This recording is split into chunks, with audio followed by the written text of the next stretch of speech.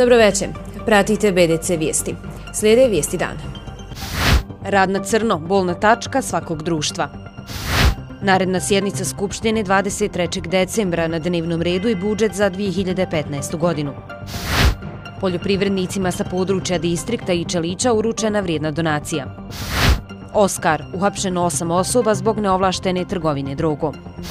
Francuska, vojni avion se srušio na dom za invalide, poginula jedna osoba. Liga prvaka, Jakin City u osmini finala, Barcelona bolja od PSG-a.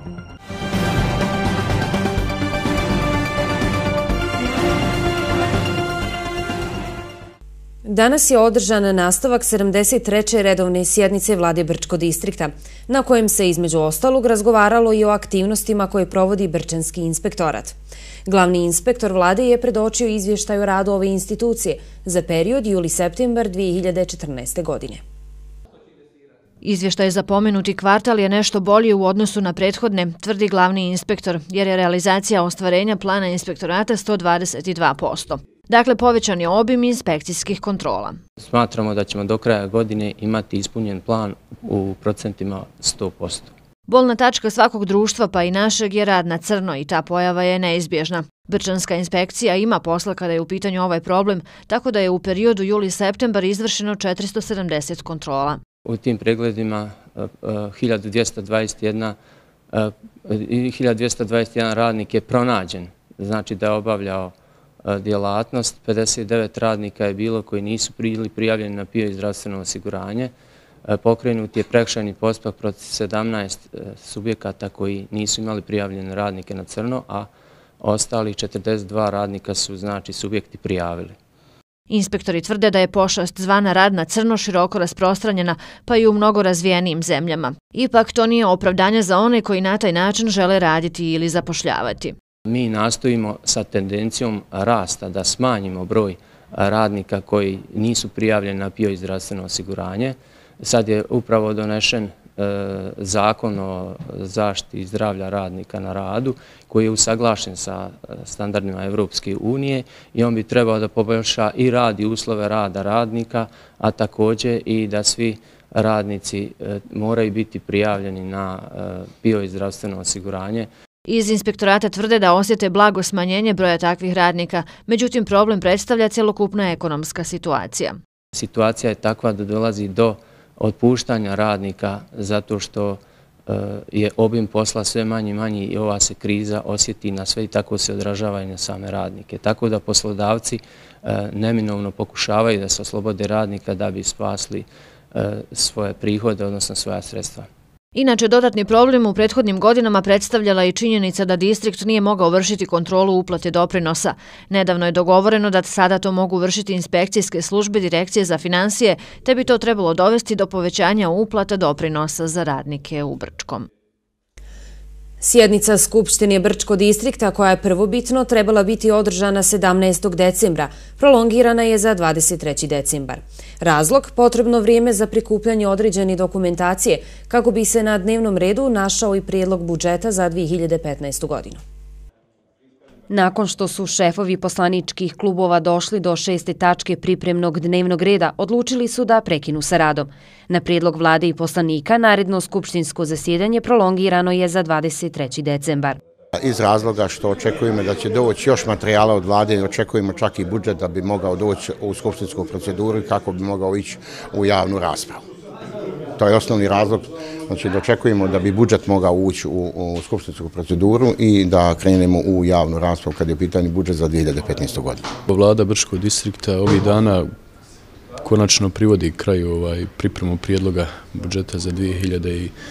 2015. godinu i cijenim da ćemo u nekoliko dana imati gotov dokument koji ćemo moći usvojiti na vladi, proslijediti parlamentu. Paralelno ćemo donijeti odluku o privremenom finansiranju institucija kako ne bi se zakočili procesi finansiranja svih institucija i vlade i obaveza koje vlada ima prema građanima. Iako je planirano da se budžet nađe na dnevnom redu, isti ne može biti usvojen do kraja 2014. godine, obzirom na dugu proceduru koju mora proći do usvajanja. Nacrti zakona nakon dužeg vremenskog perioda ponovo će biti predmet rasprave, te se postavlja pitanje da li se pojavila, nazovimo, 19. ruka za glasanje ili je posljednje skupštinsko zasjedanje na kome je usvojen rebalans bilo samo izuzetak. Ja ne neću da kažem da, da je izuzetak i nije izuzetak. E, mi radimo na tome da skupštinsku većinu proširimo kako bi mogli rad, to jest usvaja zakone i druge akte gdje e, poslovnik kaže da treba da bude 19 poslanika. A ja sam po prirodi optimista, nisam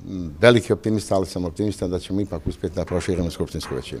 Ostat će dovoljno vremena kako bi nova parlamentarna većina mogla dodati i sugestije na budžet i privremenu odluku o finansiranju.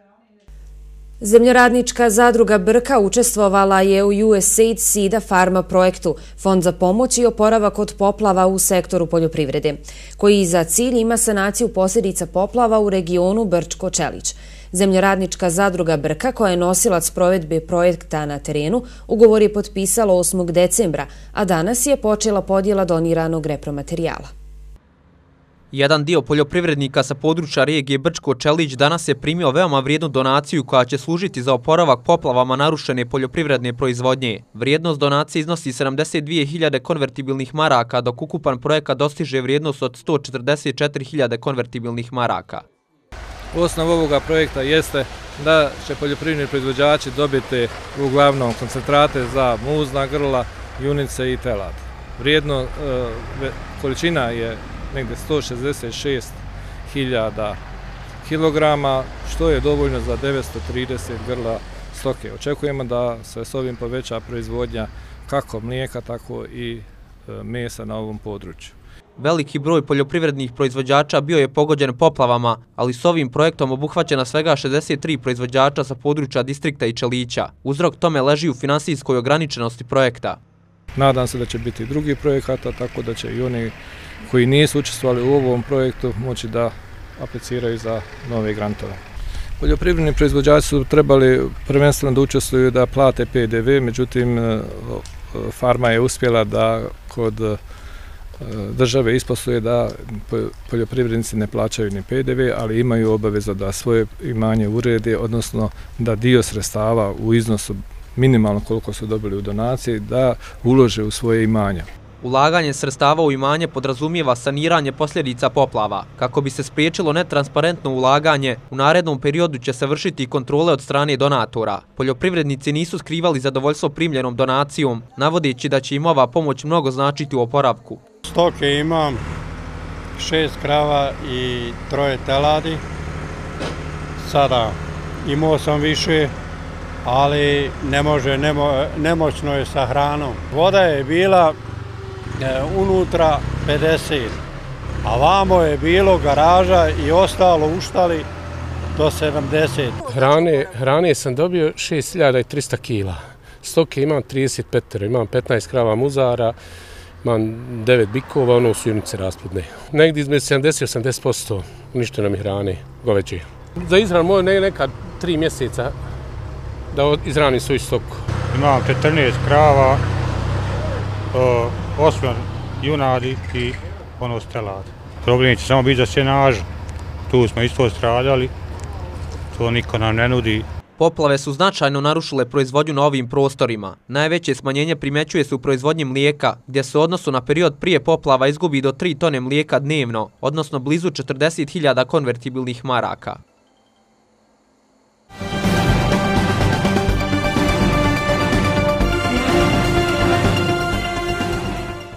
Policijski službenici Državne agencije za istrage i zaštitu započeli su jutros na području Sarajeva, Zvornika i Bihaća akciju kodnog naziva Oskar, u kojoj je uhapšeno osam osoba.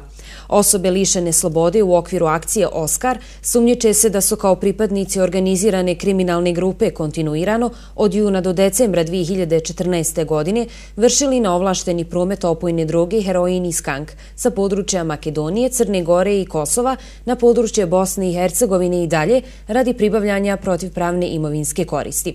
U navedenom periodu u tri navrata izvršena je zapljena od ukupno 1200 grama opojne droge heroin.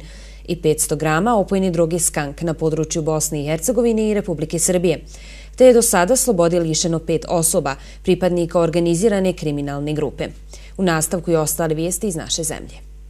Prvi put žene Srebrenice svoj mirni mimohod nisu organizovali u centru grada, a razlog je zahtjev za smjenu Jovana Ilića iz odjela za ratne zločine regionalnog odbora Sipe Tuzli. Prošlog 11. mjesecu nakon mirnog mimohoda u centru grada došli smo ispred Sipe u Tuzli. Tada nam je rečeno da oni nisu nadležni da daju odgovore na naša pitanja. Mi tražimo smjenu Jovana Ilića, čije se ime i prezime nalazi na popisu koji je sačinila vlada Republike Srpske, a koji se odnosi na osobe koje su učestvovale u genocidu u Srebrenici. Mi nećemo odustati, a svoja mirna okuplja okupljanja ćemo nastaviti svakog 11. u mjesecu, ali ispred Sipe u Tuzli, kaže Hajra Ćatić, predsjednica Udruženja žene Srebrenice. Slično kao i prije mjesec dana i danas su iz regionalnog odbora Sipe u Tuzli odbili sastanak sa ženama Srebrenice te su ih uputili na adresu Istočnom Sarajevu, odnosno u sjedište Sipe. Podršku današnjem okupljanju ženama Srebrenice pružile su i aktivistice organizacije Žene u Crnom.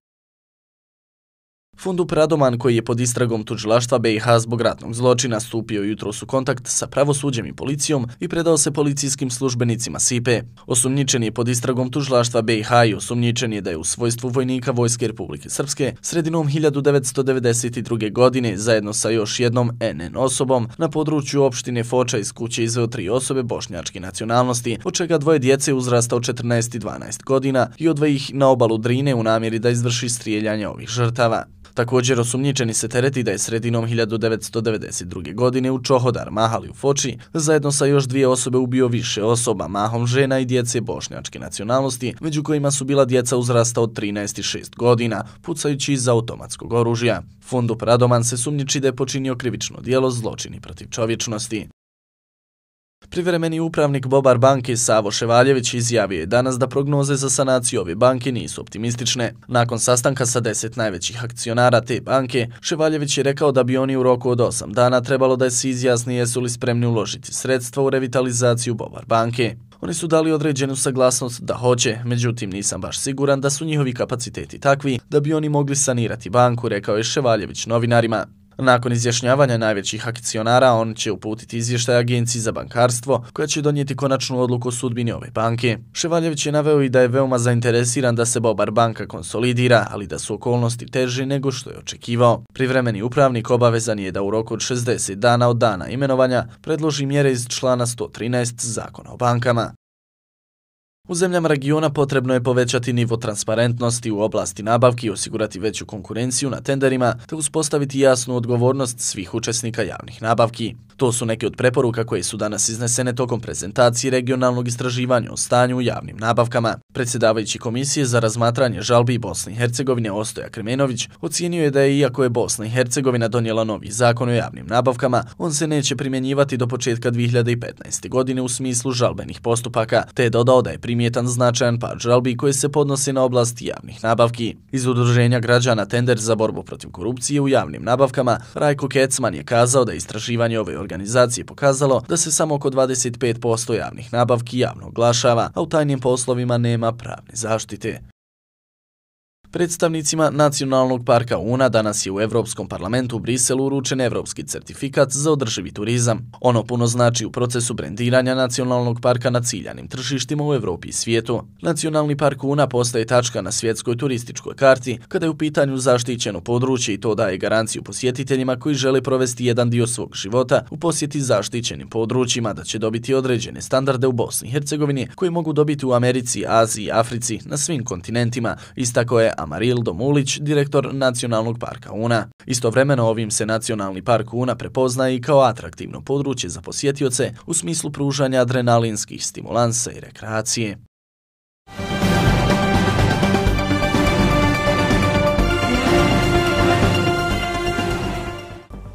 Pratite centralne vijesti BDC televizije. U nastavku donosimo. Bankarska službenica optužena da je oštetila komitente za više stotina hiljada maraka. Lista korisnika jednokratne pomoći.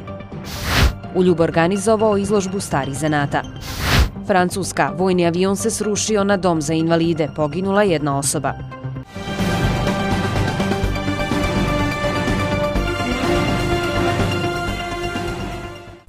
Tužilaštvo Brčko distrikta Bosne i Hercegovine podiglo je optužnicu protiv Jele Cvijanović iz Brčkog.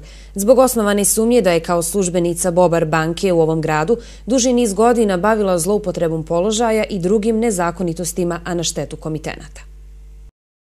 Optužnicom u preko 20 tačaka Jela Cvijanović tereti se da je u periodu od 2003. do 2009. godine pri obavljanju poslova platnog prometa i poslova štednje oštetila više od 40 komitenata banke za blizu 250.000 konvertibilnih maraka. Njoj je stavljeno na teret da je umjesto da ga prenese na račune prema nalozima komitenata, novac uzimala za sebe zadržavajući pojedinačni iznose u visini do 22.000 eura. Prema ostalim navodima optužnice, ona je sa ciljem prikrivanja nezakonitih transakcija krivotvoreći potpise neovlašte neovlašteno vršila prenos novca sa jednog računa na drugi tako što bi novac komitenata koji bi prethodno isplatila sebi u jednom broju slučajeva namirivala novcem drugih komitenata. Rezultati istrage pokazuju da je Cvijanovićeva na način opisan u optužnici pribavila sebi protivpravnu imovinsku korist u iznosu od 246.825,45 konvertibilnih maraka, dok istovremeno oštećenima nanijela štetu ukupnom iznosu od 325.538,81 konvertibilnu marku.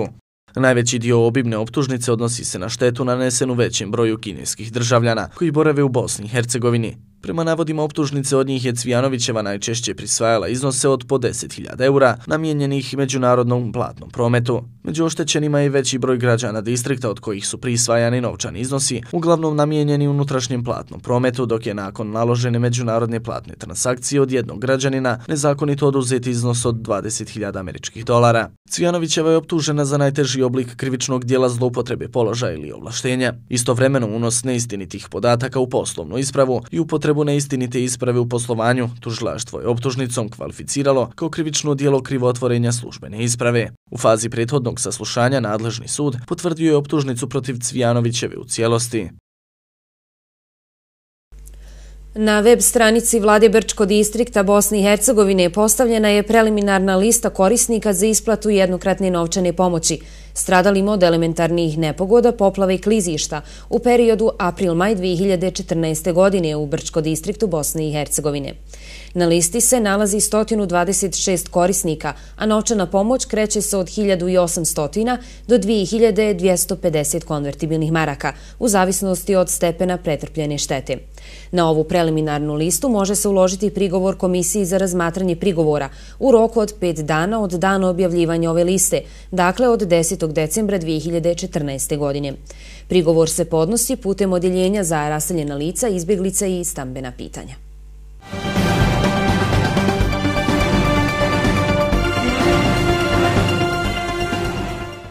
Vojni avion za obuku srušio se u sredu poslije podnije u središnjem dijelu Francuske na zgradu u kojoj su smještene hendikepirane osobe. Nesreća se vjerovatno dogodila zbog tehničkog hvara oko 17 sati i 30 minuta u Vouvraju u blizini Toursa, precizirao je pukovnik zračne vojske Jean-Pascal Breton. Avion se srušio na dom za starije hendikepirane osobe koji može primiti 88 osoba u internatu i 47 u dnevni boravak ali ne zna se koliko osoba se nalazi u domu u trenutku, se nalazilo u domu u trenutku nesreće. Prema procjenama lokalnih vlasti u nesreći je poginula jedna, a povrijeđeno je šest osoba. U nastavku je ostali svjetske aktualnosti. Patrolni avioni NATO-a pretraživali su na poziv Velike Britanije površinu mora zapadno od Škotske nakon što je on je primijećen periskop podmornice, objavili su mediji. Britansko ministarstvo odbrane potvrdilo je da je dobilo pomoć od NATO-a, ali nije objavio detalje akcije. Vijesti o nepoznatoj podmornici, što ih je najprije objavio časopis Aviation Week, stižu u vrijeme rastuće napetosti između Zapada i Rusije zbog ukrajinske krize. Prošlog je mjeseca eskadrila ruskih ratnih aviona stigla do La Manša, a Švedska je objavila da ima dokaze o stranoj podmornici koja je ilegalno ušla u nje njene vode u oktobru. Podmornički periskop viđen je u području gdje inače izranjaju britanske podmornice na putu u britansku nuklearnu bazu Faslane, objavio je Aviation Week. Časopis je javio da su francuski, američki i kanadski avioni bili uključeni u potragu krajem novembra i početkom decembra, piše Hina. NATO-vi partneri pružili su potporu operaciji patrolnim avionima Kraljevski ratni avijacije iz Kosimuta u ograničenom vremenu. Ne objavljujemo detalje pomorske operacije, saopštilo je Britansko ministarstvo odbrane.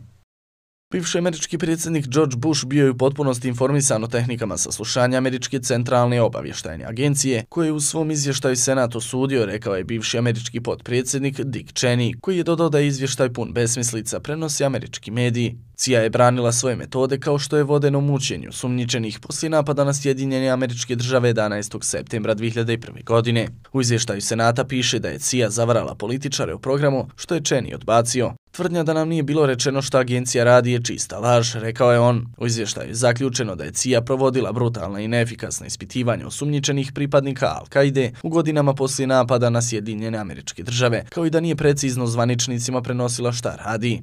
Program saslušanja spasio je brojne živote zbog čega CIA zaslužuje pohvalu, a ne osudu, zaključio je Čeni. Glasnogovornica američkog State Departmenta Jen Psaki izjavila je da Sjedinjene američke države ne osjećaju da su ugrozile moralne norme, komentarišući objavljeni izvještaj o postupanju CIA prenijela je Anadolija. Ako druge zemlje objave izvještaj u vezi sa njihovim praksama ljudskih prava i praksama prikupljanja informacija o njihovim obavještajnim službama, naravno da ćemo izraziti zadovoljstvo, ali to ne rade druge zemlje, kazala je Psaki. Generalno smatramo da je prikladno da se ta pitanja rješavaju u našem pravnom sistemu, istakla je ona. Na kraju je napomenula da je američki pravni sistem nezavistan i da samostalno donosi odluke.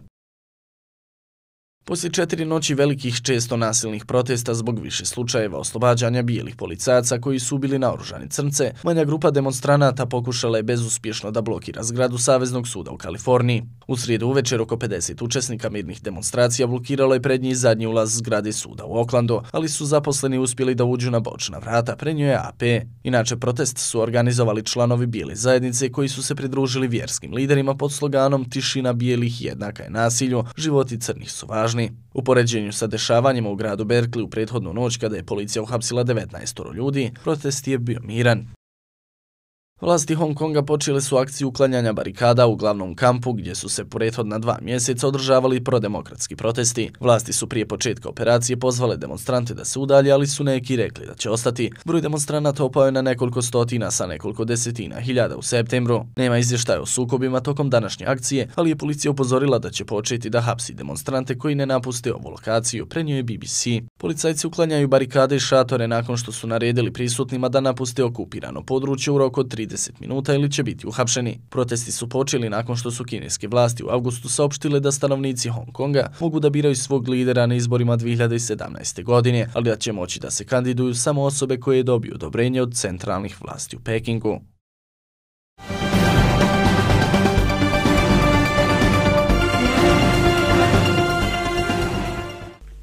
Udruženje ljubitelja umjetnosti Brčko organizovalo je mini sajam starih zanata i kućnih radova.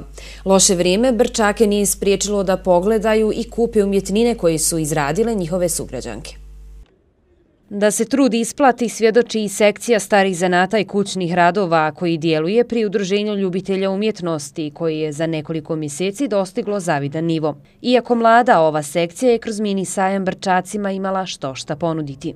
Imamo negde oko 15 članica i preko e, vlade Brčko distrikta mi smo dobili ovdje jedan prostor da one mogu mjesec dana da izlažu svoje robu, ovaj, odnosno stvari koje rade. Sekcija okuplja članice sa brojnim talentima, neki od njih su izrada kolača na starinski način, knjigovezac te prepariranje stare knjiga, izrada nakita, ukrasnih predmeta, suvenira, odiće. Malo na savremeni način, ali je to ipak kućna radinost i za neke od njih je to izvori prihoda. Izložba starih zanata i rukotvore vina trajaće do 31. decembra. Bliže se vjerski i međunarodni praznici, a upravo sajam donosi pregršt unikatnih poklona za predstojeće praznike. thank you